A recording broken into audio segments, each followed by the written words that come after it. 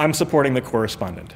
The reason when we support it is it's founded by people who are thoughtful about journalism. And I've had a lot of conversations with those guys and become friends with them and like, you know, I mean, they're pretty real and they're not they're not pie in the sky idealists. They know about the practicalities. It's in depth, it's transparent. I mean, it really reminds me a lot of, of 538. They do have a a track record of doing it in a different country on a different scale, but like, but in ways that I think when I talk to my friends, they would appreciate something like it. It's the kind of thing that I will be interested in reading myself.